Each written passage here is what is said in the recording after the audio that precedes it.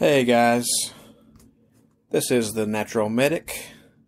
Thanks so much for checking out my podcast.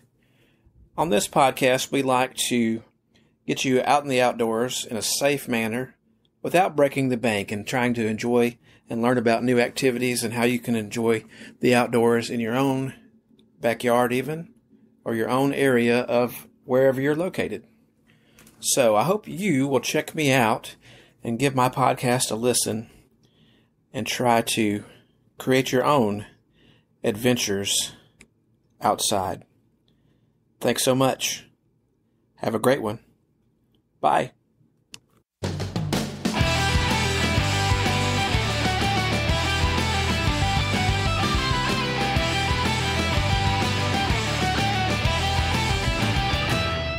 Welcome to episode number two of the Natural Medic Adventures podcast. Today I'm actually hiking. It's Memorial Day weekend. I'm hiking at Daingerfield State Park, which is a park I used to work at, located about 30 minutes from my home. It's a beautiful day for hiking. The temperature is actually in the 60s, which is unusual for Texas on Memorial Day weekend. But uh, looks like it's going to be a very nice day to get out and hike. Welcome, welcome to episode two of the podcast, The Natural Medics Adventures. I'm so glad that you are back and joining me on the second episode of this wonderful podcast. It's wonderful because, of course, I'm doing it, and you know, I'm a little uh, proud of myself getting doing this second episode now. Um, what we're going to do on this episode is talk about some more in-depth top topics that we kind of started on the path. See what I did there? The path from last time. We're going to talk about those things and continue down the path and get you out on your very first hike. This episode, we're going to focus on day hikes primarily. The way I look at it, if you can do a day hike, you can adapt that into an overnight hike. If you can do an overnight hike, you can do a weekend trip. If you can do a weekend trip, you can do a week long trip. If you can do a week long trip, you can do a month or more. And so we're, we're trying to get you crawling before you can walk and get you started on that path, so to speak. I know we keep saying that, but um, anyway, um, since I've been with you last, I've been on two day hiking day hiking adventures myself. I went to two different state parks in my area. Both of them are about the same distance away from me. The first one was about two weeks ago. I went to Martin Creek Lake State Park, which is down by Tatum, Texas. It's halfway between Marshall and Henderson, Texas, up here in northeast Texas. We're kind of in the Tyler, Texarkana, Shreveport area, and uh, hiked every bit of trail at Martin Creek. I'm going to give more details about that a little bit later. And then this past weekend, I went to Daingerfield State Park, which is located um, due west of me approximately 30 or so minutes and did some hiking there. Did about the same length of hiking at both places, right around five miles for the day. The weather was great, actually, and not too terribly bad.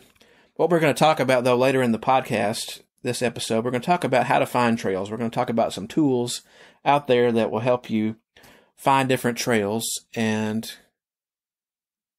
they give accurate reviews and information about the background of the trail, what to expect, what's out there, you know, things to look out for, and so forth.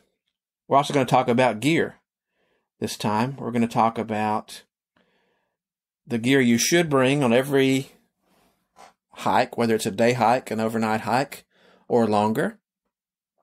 We're going to talk about some footwear and socks and clothing. Probably a lot of this stuff you're probably going to have already, which is good. We're trying to keep this as low cost as we can. and we're going to talk about doing some more training for your body. And after that, we might throw in some other stuff for good measure, but we'll, that's kind of what we're looking at for this week's episode. So please join us as we continue the Natural Medics adventures. Thanks for being here. All right, all right.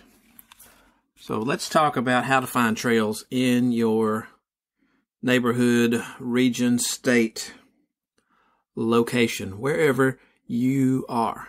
There's three different apps I want to talk about.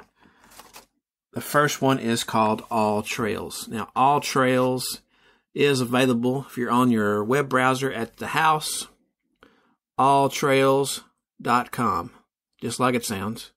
A L L T R A I L S dot com. I've been a member of All Trails pretty much since the beginning of it. In the, I think it, it came out about 2010. And the cool thing about All Trails is they have two different levels. They have a free level. The free level is pretty, you know, pr- pretty detailed. It has a lot of features. Um, straight off the bat, if you go to the web page, it's also available as an app. All of these will be available as apps to download in the Play Store or in the App Store, uh, depending on your model of phone. And All Trails is, in my opinion, the most extensive of the three we're going to talk about today as far as finding trails in your area. The other ones have their benefits as well, but I think All Trails is great because you don't have to you don't have to pay anything. You can download the app for free, set up your account, and they're going to give you a lot of cool things. You can search by a city, a park, or a trail name. You can even explore nearby trails. If you're in the app, it'll find nearby trails to you. If you're in um, on the computer, it will find them the other way. Um, on the free end of things, you can actually do quite a lot. So let's talk about that right now. Okay. Um, the free level, you can create a favorite list. You can, like I said, look up pretty much anything out there you have a bunch of different layers of maps to look at and all of that. And you can import activities. You can sort by, sort by activities, not just hiking. You can do uh, trail running. You can do uh, mountain biking. You can filter your results so that you'll know if your dog is, you know, allowed there, your kids, if it's a good trail for kids. People do review these places and they're able to, um, you're able to read those reviews and, and, um, pretty much how they show up in the search. So if you search for trails in your area, it's going to show up by the ones that have the highest reviews. And that's handy because you'll know that that trail is, you know, is well maintained. You'll know all details about it and things like that. But by creating a, um, an account on All Trails, which you have to have for the app to, to work on your phone, I don't believe you have to have it on the computer, but on the phone, definitely do. Um, it allows you to do all that um, looking for trails, importing files, exporting files, um, reading and leaving reviews, custom maps, um, using a navigator to keep track of your adventures. It does connect to a Garmin device. I do have a Garmin device that I use when I'm hiking, but I haven't figured out how to do that quite yet. I have been a member of All Trails for a long time, but I've only recently downloaded this smartphone app. Um, you can use a navigator to keep track of your adventures, and you can create custom maps and put those onto or view them from your All Trails app as well. Um, you can navigate, you can see history, you can do profile, and you can also get on the community and contribute to um, you know, new content and try to edit old content. So pretty cool. Now at the pro level, what it does is it, allow, it allows you to do some additional features. And right now, I believe I'll check that in just a second to see if that's still going on. They had a they had a special going on, and um, I don't know if it's still going on or not. So the pro part of all trails is nice because it will give you some additional map overlays. Um, you can download your your um, maps to your phone. It it collaborates with your computer to app pretty pretty smoothly, and you get all that for I believe it's twenty nine dollars a month, or sorry, not a month. Sorry, twenty nine dollars a year, and then that um, goes into I think it's on a special deal, or it was the other day. I got it for half price. I think it's twenty nine dollars for a year, and um, now they are having a deal for half off. Okay, so it's pretty cool. You can do a lot of things with AllTrails. It's been around a long time, probably the longest of the three we're going to talk about, as far as I understand, and it's just very user friendly and very, very cool. So, the other one that's out there is called onX Backcountry. I'm on a trial version of that right now. Um, onX is pretty cool in that it has more of a map based. So it's almost like a hybridized version of Google Maps, kind of supercharged and, and set up for hiking. And right now they have a code you can do to get the premium version. I think you can do a seven day trial. After that, I think you're required to pay it in order to use it. But what they do is they give you $10 for the entire year. Normally it's $29, I believe. And what it does is they donate the proceeds to leave no trace. So that's pretty cool. But what the app does and the and the website itself is it gives you more of a map type view um, 3D maps, let you find hiking trails. It does not have any other uh, guides like All Trails does, and you can use offline maps, and they can they can be set up to look 3D, so it kind of goes beyond a topo map. So that's a pretty cool feature. I'm actually going to probably sign up for this ten dollar trial deal, or ten dollar sorry not trial. I'm on the trial right now. The ten dollar um, annual membership and see how that goes but it looks pretty cool. Like it's got a really uh, lots of features. But uh, that one is available um, onxmaps.com slash backcountry slash app. So it's O N X maps.com slash, forward slash backcountry forward slash app to check that one out. And the third one we're going to talk about in brief is called Guthook. And Guthook actually is more of a guide and a, and a, very descriptive, detailed guide for some of your longer trails. They don't seem to have a lot of the local stuff, which is which is understandable because they're they're focused more on the long trails. For example, the Appalachian Trail. You can get a guide to the entire Appalachian Trail which is uh, 2,180 miles long, which you know starts in starts in Georgia and ends in Maine. You get a full guide with resupply points, with um, you know trail conditions, all kinds of detailed stuff. Um, basically, it's like a guidebook that is digitized and put on your phone. And they have them for all kinds of places, like Acadia National Park. They have them for different states, different countries like Australia, New Zealand, Lots of cool stuff. And as of right now, I don't see um, that they have any kind of deals for annual. I think you just kind of pay by the content. And once that content is downloaded, you have it for life. And I guess when they update it, you get it. Um, you know, going back to you. And their website, if you want to check them out, atlasguides com forward slash trail dash guides. But you can also type Guthook into Google or whatever search engine you use and also look for it on the App Store or in Google Play. But three different apps that'll help you with trails. They all work for different purposes and they all are great for their intended purposes. So check them out.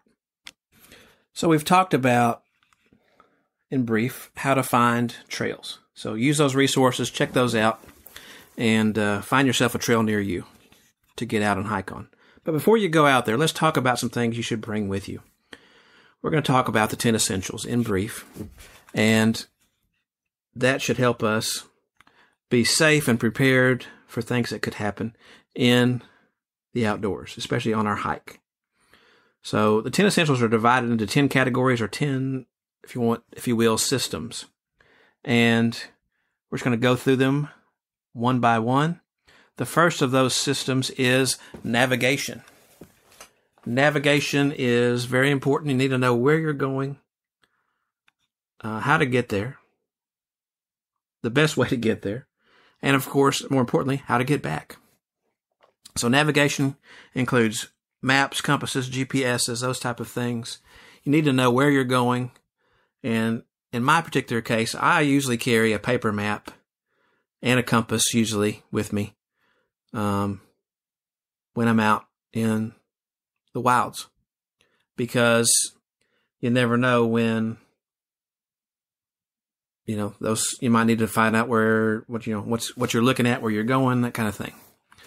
Um, even on places that i'm familiar with i usually try to carry a paper map just in case because the GPS in your phone or the GPS unit you might be using runs on batteries. It may run out of power. And it's good to have that uh, skill with a map and compass. Uh, the next thing, and very important coming up uh, here in Texas for the next several months, is sun protection. You need to have some kind of way to shade yourself from the sun to protect your, your skin against the UV rays that are out there. So that includes uh, sunglasses for sure, and a hat I would always take those with me. And sunscreen, even in the winter, sunscreen. The sun is still out. The sun is still producing UV rays, so you want to make sure you can protect yourself. Or a long sleeve shirt. I do have a new shirt I just got. Um, I don't remember the name exactly. I think it's bay leaf, Baleaf, Baleaf. I'm not sure how to pronounce it, but it's a long sleeve sun protection shirt that I'm going to try out some this summer to uh, see what it see what it does because you want to minimize that exposure if you can, especially if you're going to be out there longer than you anticipated. Uh, the next one is going to be insulation, and insulation includes um, things when it's cold, such as you know a jacket, but it also includes things like that are more practical, like a rain shield. I don't really need a jacket necessarily in the middle of summer in Texas. Probably not going to need that. But I might need a rain shield because you never know when a afternoon thunderstorm could break out. You leave the house, it's sunny, and you come back, and that's not the case. So you definitely want to um, pack that so you can be prepared for the weather change. So do it appropriately to the season. You know, if if you're in the spring or fall or winter, you know, you leave on a sunny day, definitely, you know, take some extra layers just in case you're out there longer than you anticipate. Illumination. Back when I was a park ranger, I definitely had to go and get people off some trails several times because they were out there and they didn't have their they didn't think they'd be out there that long, so they didn't have their flashlight. They had no source of light. So they were stuck on the trail. But you can easily pick up a cheap flashlight um, anywhere, just about. and, um, you know, the cheapest one, you know, at least is something. You do have one probably on your smartphone if you have a smartphone, but again, the batteries may run out. May not have very much battery. Uh, so make sure and take a flashlight, a headlamp, a lantern, something with some extra batteries. First aid kit, very important. You don't have to pack something, uh, you know, that the ambulance, you know, the EMS crew would bring out, but you know, something that's going to be utilized for common common things that might happen. I have a little kit that I carry. It's just a little travel size kit. I think I picked it up at the Dollar Tree. Matter of fact, I know I picked it up at the Dollar Tree. It's got 21 items in it. And on the back, it's got bandages, just regular size band aids, the smaller band aids, the round band aids, excuse me, the knuckle band aids, uh, a few gauze pads, and some alcohol preps. So I carry that with me. I carry a bandana that can be used for a tourniquet. It could be used for splinting. It could be used for a sling, uh, tie up a sprained ankle. I also have some um, some rolled gauze. I think I maybe gave a buck for, for that at the Dollar Tree. Um, and a few other items. I don't really carry a whole bunch of you know first aid stuff. But you know, think about the common things you're going to get: cuts, scrapes, bruises, that kind of things. Maybe a sprained ankle. Hopefully not, but maybe be prepared for those things. Fire. If you're going to be out there for longer than you anticipate, especially if the weather turns bad and you need to cook some food or you need to dry your wet clothing or you need to purify some water, fire is important. I usually take a lighter of some sort with me, usually a Bic lighter. They're nice and cheap. Um, in a plastic bag with some dryer lint. I know that sounds weird, but dryer lint is free and available. And a tube of chapstick. I can coat that chapstick around the dryer lint, and it gives me a waterproof um, fire starter that's really easy and able to, you know, be acquired, you know, pretty much every everywhere. Um, repair kit and tools. I usually carry a little bit of duct tape, just rolled up like about a, you know, about a, you know, half inch wide of duct tape, just kind of roll it up on itself. Um, a pocket knife, and sometimes, well, most of the time, I'll carry a um, multi tool. The multi tool has scissors on it. It has a screwdriver, different things, can openers, all kinds of stuff. And of course, if you're going to bring on be on any kind of special um, equipment that you need, you know, bring that with you as well. Um, food. Always need to bring food. You never know how much how long you're going to be out there. You need to have that energy to keep your body going.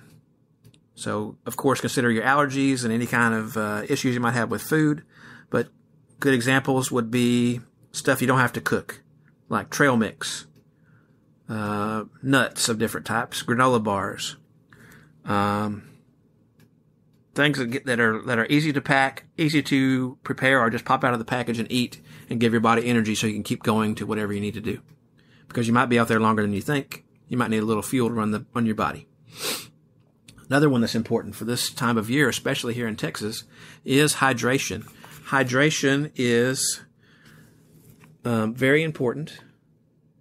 Your body activity is going to um, use water. You're going to sweat that water out, especially if it's very hot.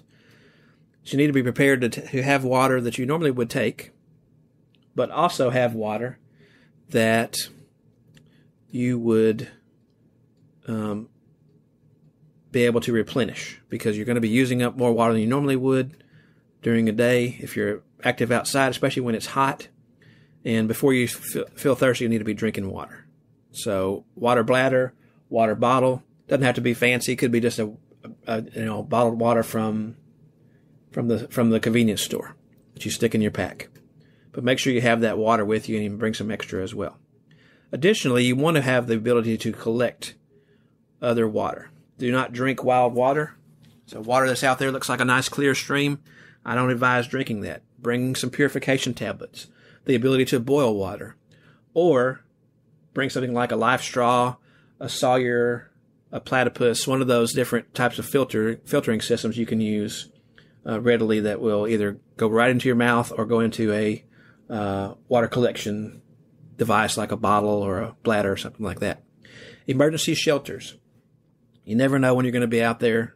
One member of your party or yourself gets injured. You can't get out. The weather turns bad. You need something to protect yourself.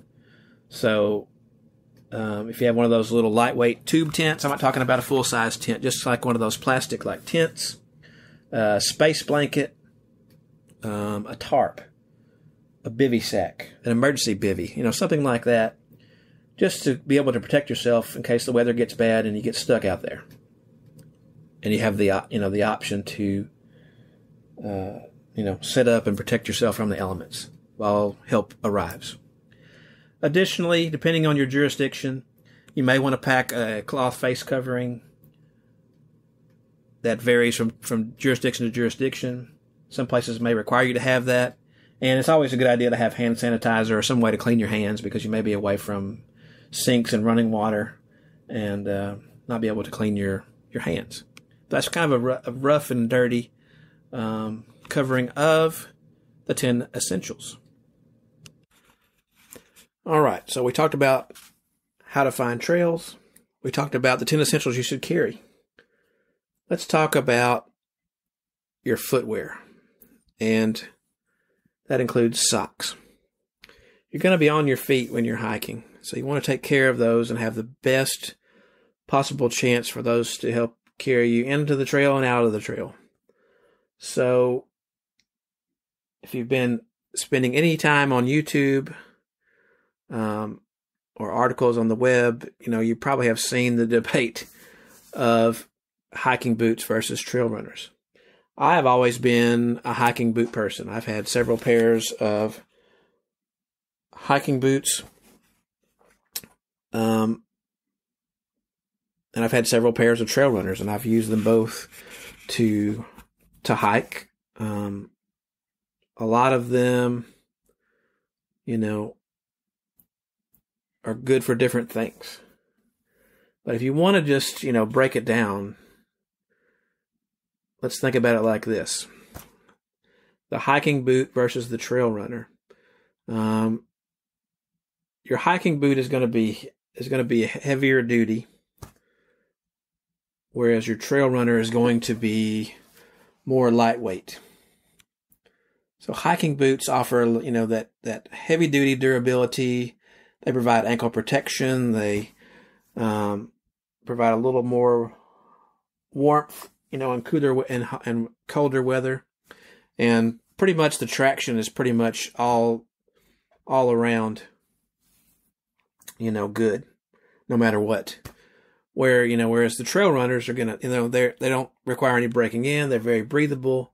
They are perfect for you know fast paced long miles and they can be used for multiple things whereas you know hiking boots pretty much they're hiking boots and you know they don't get as hot because they're not as you know they're not built the same as a hiking boot. And depending on you know what type you get, there's some that have a sticky sole, there's some that have you know more of a, a lug sole like a hiking boot. It just really depends. So those are kind of the overviews there. Um, so really, think about it like this: the the hiking boot is heavier, they're bulkier, they're going to require some time to break them break them in. And a lot of people just think automatically, I'm going to go hiking. I need a hiking boot. That's not always true. Um, your trail runners are going to wear out faster and they are less supportive. But, as I said before, they do have some benefits. I'm not going to attempt to, to see which ones, um, you know, in this podcast try to tell you which one is right for you. But I'm just going to tell you some just some tips. You definitely want to have a pardon me, I had a little sip of water there. Um, you definitely want to have something that is that is right for you. A hiking boot, um, or a trail runner, depending on the situation, might be right for me. But it may not be right for you either one. You know, you have to figure out which one. The best thing you can do is go to a go to a good place that has uh, some experts that can tell you what that is. If you're close to an REI or some type of you know similar store, um, they can definitely tell you you know what you might need and what's going to be the best. But you want something that's going to fit you good. Generally, if you're going to be using these for um, a long time, you're going to want them a little bit bigger than normal. Probably, generally, they say about a half size bigger, just because that gives your feet plenty of room in there. Um, so that your toes are not bumping against the end. Because you're putting a lot of miles in, you know, you're going you have the possibility of, you know, causing some issues with your toes and maybe even losing toenails. So you don't want to do that. Um, but the main thing is, you know, you want to make sure they fit, they fit well, and they fit you for the use that you're going to do. Um, because you don't want to not take care of your feet. You don't want you don't want blisters and things like that.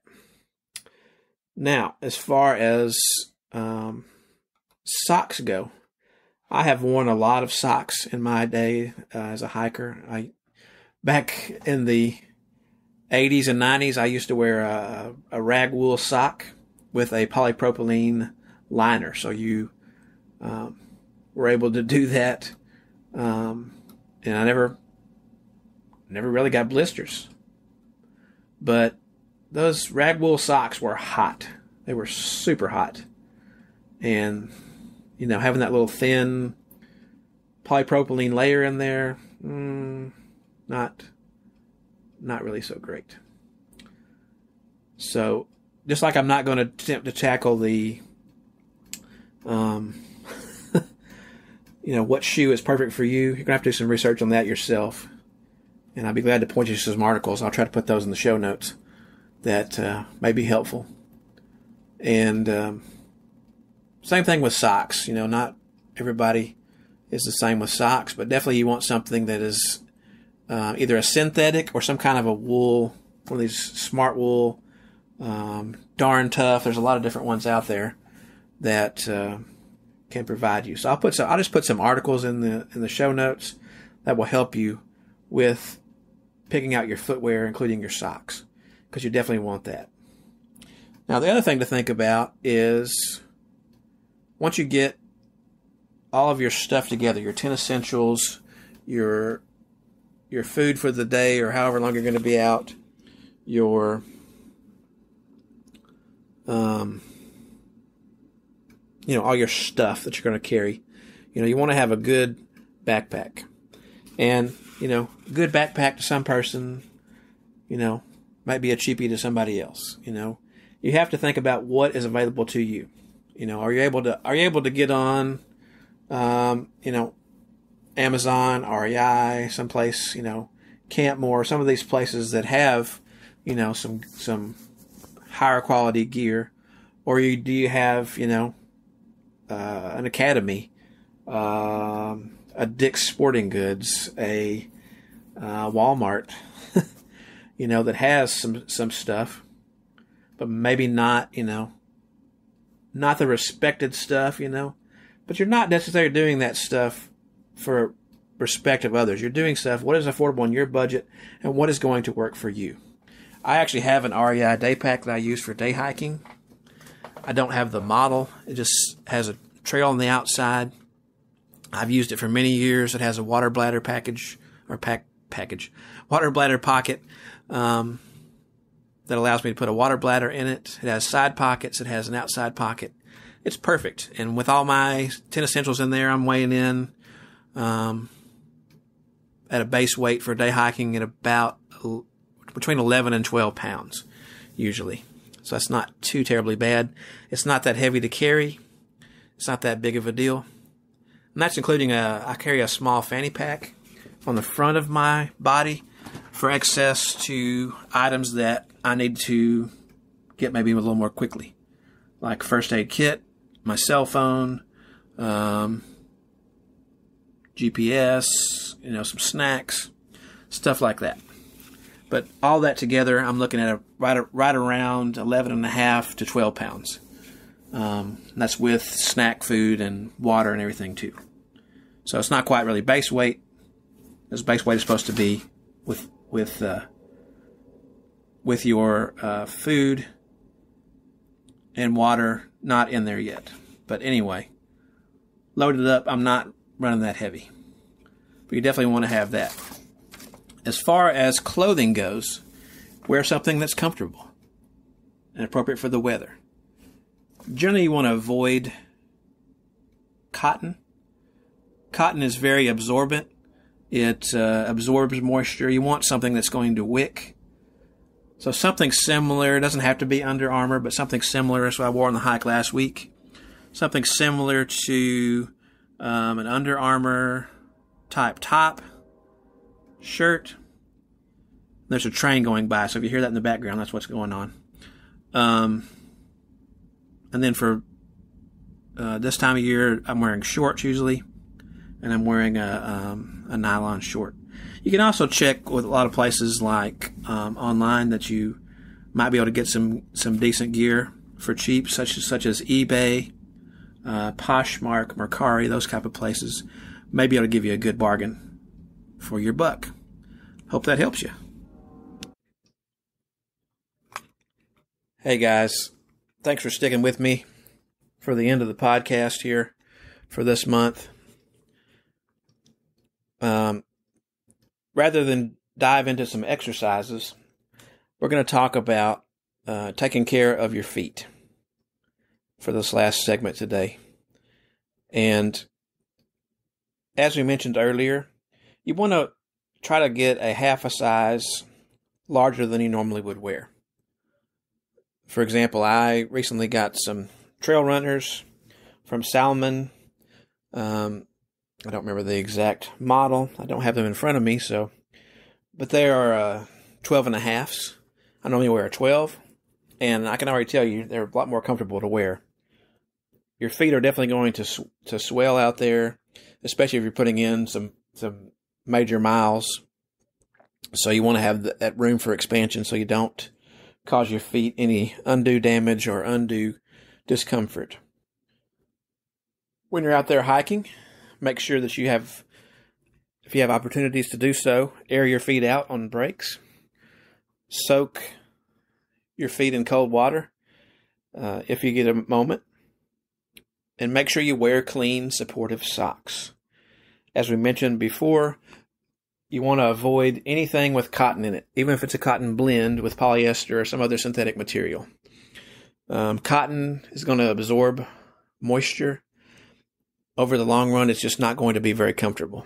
So I would avoid that at all costs.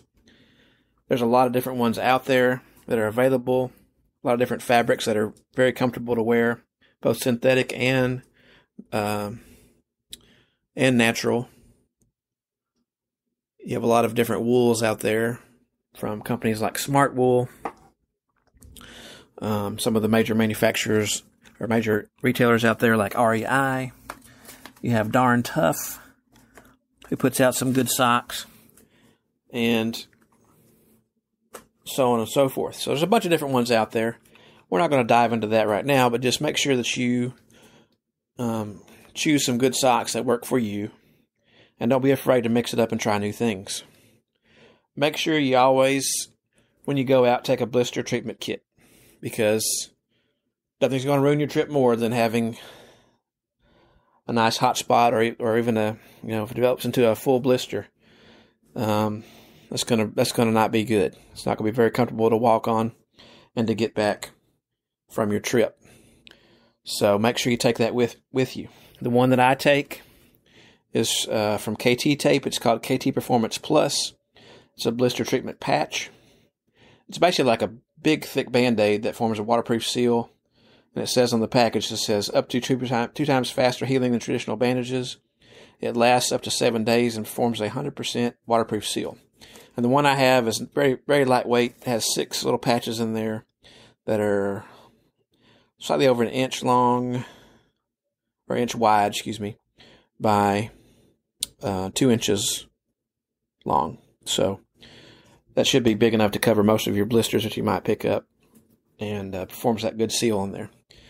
When you get home, you know, don't be afraid to soak your feet in some Epsom salt if they're hurting. When you get out and do those, you know, first several mile hikes, you know, your, your feet might be and your legs might be hurting pretty bad. So don't be afraid to, to treat yourself. And as, as you do more and more hiking, you will get better and more comfortable at uh, getting out there and and uh, not being as sore, not being as as broken down when you come back. But I definitely do appreciate you listening to me. Um, I'm going to have some resources in the show notes, which is coming right up in just a second. Thanks. Hey, y'all. Thanks for sticking with me to the end here. I think we've had a great episode today, episode two of the Natural Medic Adventures. We covered a lot of ground. Hopefully, it was useful for you and you gained something new out of it. Because you stuck with me this long, I'm going to I'm to uh, give you a little deal on my Etsy store, Roadrunner Rarities. I'm going to have additional downloadable tip, tips and trick sheets available on the store. If you enter the code at checkout, 50 off, you will be able to save half half the price of those lists and tips and trick sheets that will give you a great deal. That's because I appreciate you spending your time with me, so I'm going to give you something back as well. I am the editor, host, um, guest uh, of this podcast, so it takes me a little while to get it going. I apologize for not being out sooner, but I'll do better in the future, and I will get these other things produced and out on the store as well for you to have as resources to learn more about how you can have your own adventures in the outdoors. Definitely appreciate your time again. Have a great one. Talk to you soon. Bye.